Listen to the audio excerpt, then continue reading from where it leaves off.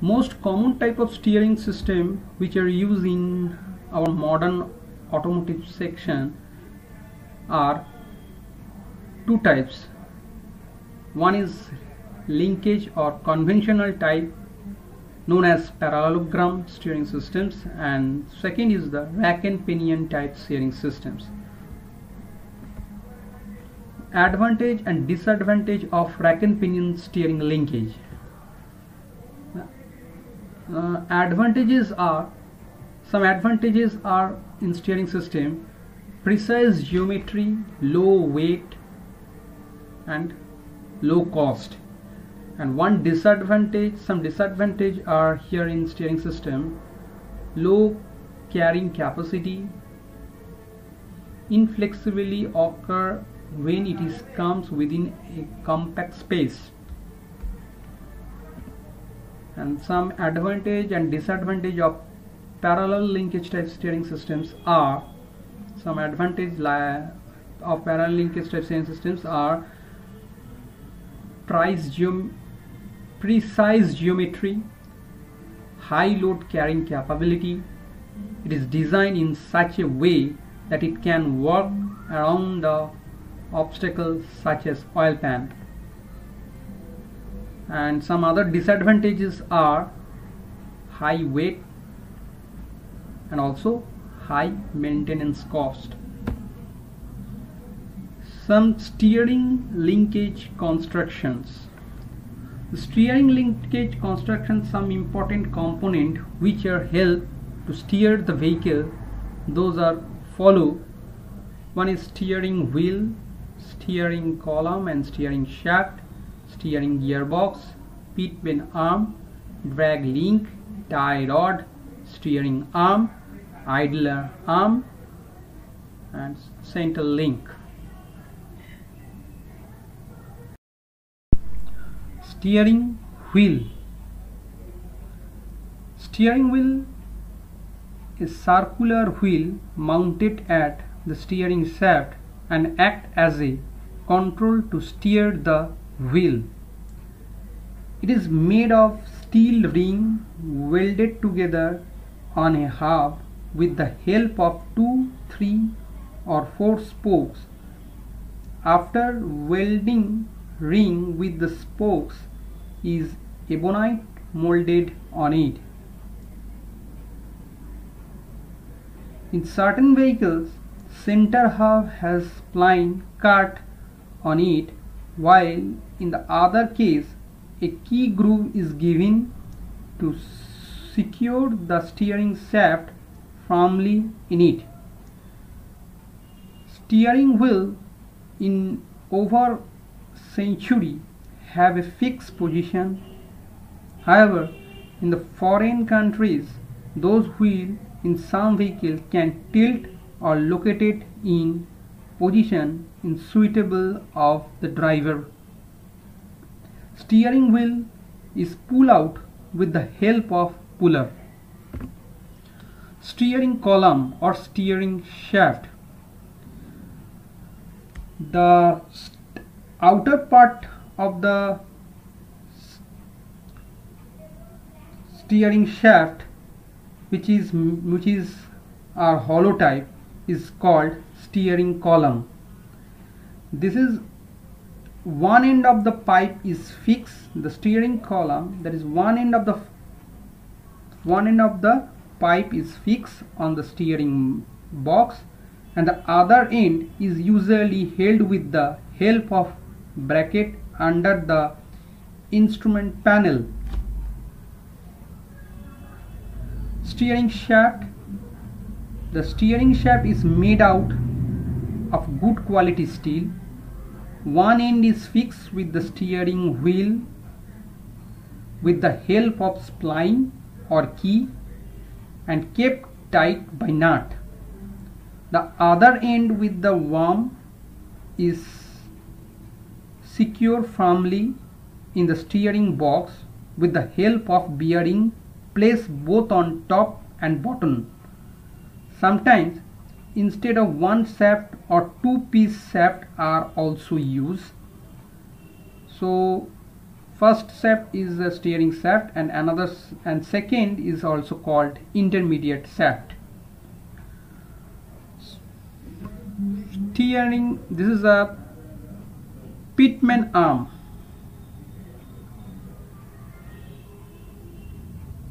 Pitman arm is one of the most important steering component in an automobile as a linkage attached to the steering gearbox sector shaft discover the angular motion of the sector shaft into the linear motion needed to steer the wheel. So Pitman arm transferred the gearbox motion to the steering linkage. Pitman arm is plying to the gearbox. So this one is the this is the Pitman arm and it is made by forge process forging process. Now drag link.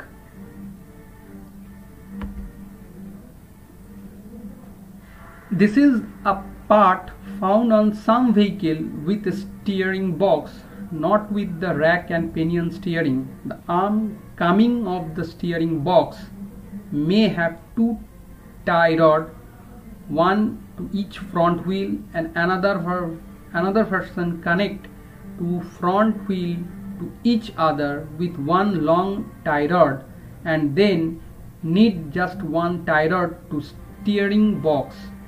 That tie rod is called a drag link tie rod basically it is connected to the rack with steering knuckle most of the modern vehicle use in steering system called rack and pinion steering system which incorporate tie rod to move the wheels. Tie rod are attached on both end of the steering rack and as the pinion roll over the slotted rack they help push and pull of front wheel as steering wheel is turned. Steering arm steering arm is a part of the vehicle chassis that direct the input from steering gearbox to its component. It applies pressure from steering gearbox to the tie rod. The result in the tie result in the tire turning from left to right or right to left. Idler arm the idler arm supports the end of the center link on the passenger side of the vehicle.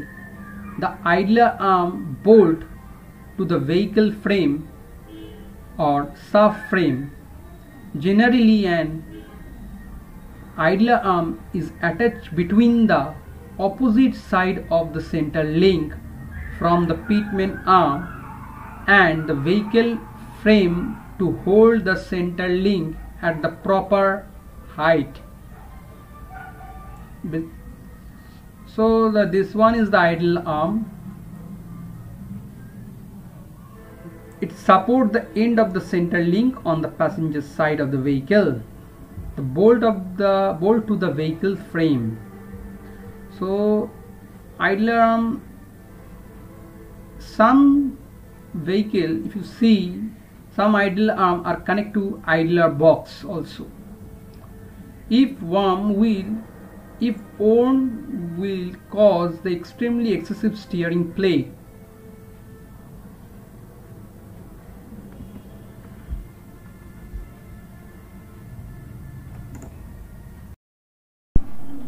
center link the parallel steering linkage the pitman arm is connected to a center link which will move side to side.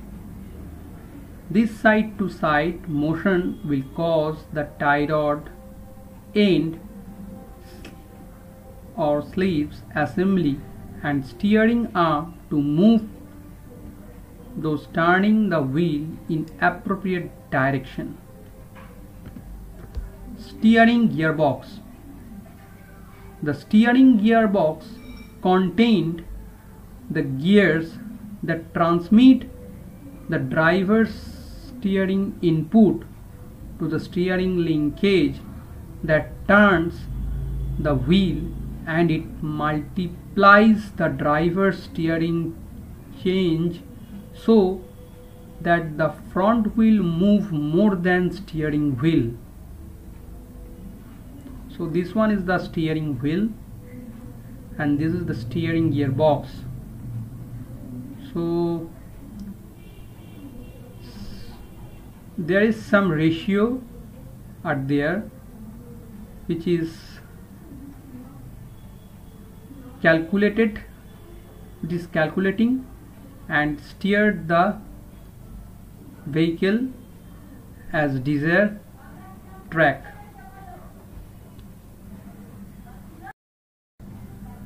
Steering damper.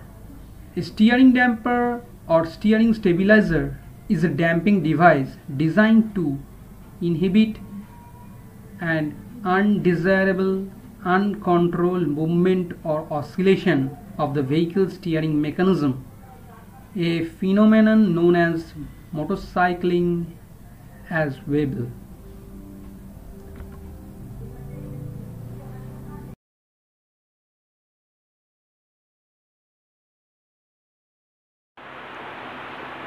now this is the conventional type steering system. This is the Maru this is the Mahindra and Mahindra steering system today we have we have discussed about the conventional type steering system. This one is the steering wheel. And this one is the steering column. The steering column is a long member of cylindrical shape whose one end is attached to the steering wheel and another end is attached to the steering gearbox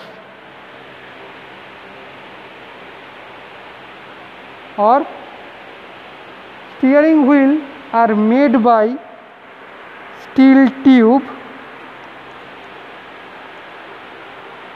Basically steering column are made by steel tube and there are so many type of column are used in automotive sector. One is one of the um, type is rigid or integral type steering column. Another type is collapsible type steering column. Another is tilt steering column. And another is tilt and telescopic type steering column. So the rigid type steering or integral steering column is this one is the integral type steering column. Collapsible type steering column you may you also may you may also called energy absorbing steering column like Santro car or any any other expensive car like Mercedes Benz etc. Tilt steering column is Tata Safari or Mitsubishi lancer you can you can say and tilt tilt and telescopic steering system column you may called uh, Eicher Eicher track also now steering column are attached to the body by the supporting hook. And this one is the steering gearbox. And we'll discuss later the type of steering box. Now we are, we are in we are in we are we have also discussed the what is the function of the steering box but it, mm, mm, but today we, have also mm, uh, today we only discuss the linkage. Okay. Now this is the steering gearbox and this is the cross shaft this is the drop arm. You you will see minutely this is called dot drop arm. This is the pitman arm. This is the drag link. This is the drag. Uh, this is the drag link. And this is a hollow bar. And drag link. And this one is the idler arm this one is if you see the this this mm, this uh, device this is called idler idler box. And the lower part of the idler box are connected to another idle arm. And idle arm are connected to the ball joint. And this one is the uh, drop this is the drag link. And also this one is the tie rod okay. This cross uh, rod are connected to the one side you see. This is one side of the tie rod end and this one side of the tie rod end and this is the tie rod which is also connected to the another side of the tie rod end. Okay. And the tie rod end and the ball joint end are connected to the knuckle see both are ball joint are connected to the knuckle so this is the basic uh, conventional type suspension system which we are show uh, this is the Maruti 800 car and this one is the Maruti 800 steering system. Basically the Maruti steering system are rack and pinion type steering system. Most of the Maruti vehicles are rack and pinion steering system. So see this is the this uh, this one is the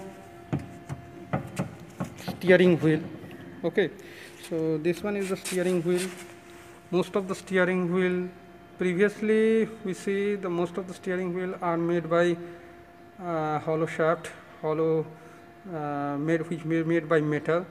Today, uh, today most of the modern car or Maruti car are made by some plastic materials or made by fiber reinforcement.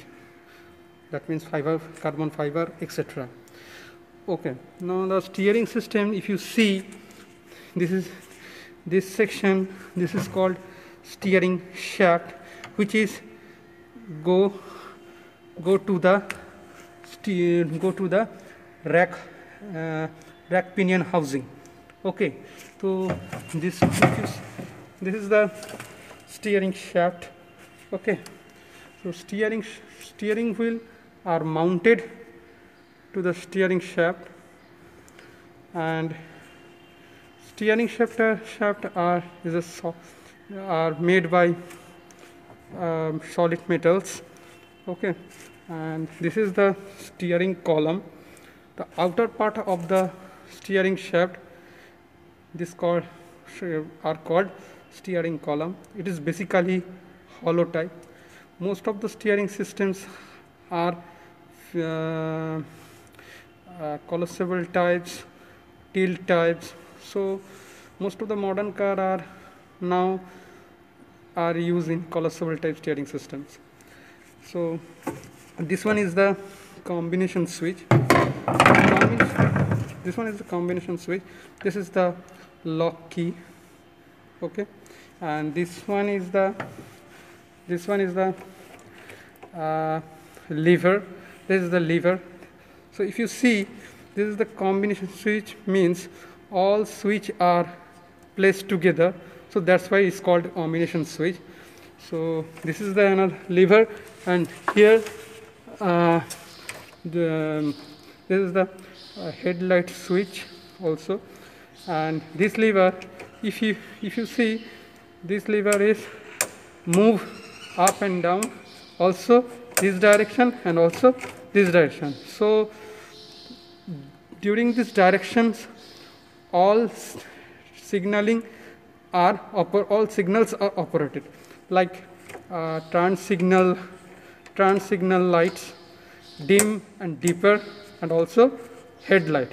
So in a in a particularly one uh, lever or operate so many signals. Okay so this is the combination switch and here is the steering column.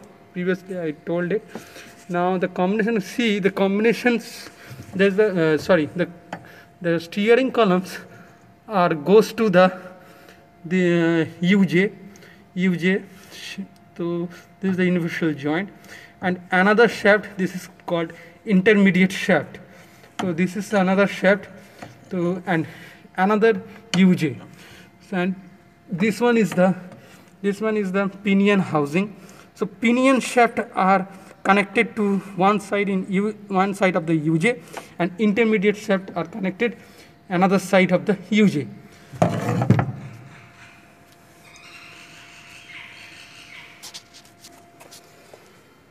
Now you see this is the rack housing this is one is the rack housing and this one is the steering racket pinion and pinion housing okay so pinions are placed inside the housing and this one is the this one is the rack and outer portion is called rack housing. And this is the mounting place mounting rubber which uh, the mounting rubber are placed here. So if you see the rack when you rotate the rack are move uh, linear directions. And this one this one is the inner ball joint. So this is the right side inner ball joint and this one is the left side inner ball joint. So inner ball joint and another this one is the this one is the tie rod and if you see this is the right side tie rod and this one is the left side tie rod and this one is the this and this one is the outer ball joint. So the the tie rod are attached to between outer and inner ball joint. And if you see minor D, the outer ball joint, uh, the outer ball joint are connected to the steering knuckle. So this is the total linkage of rack and pinion steering system.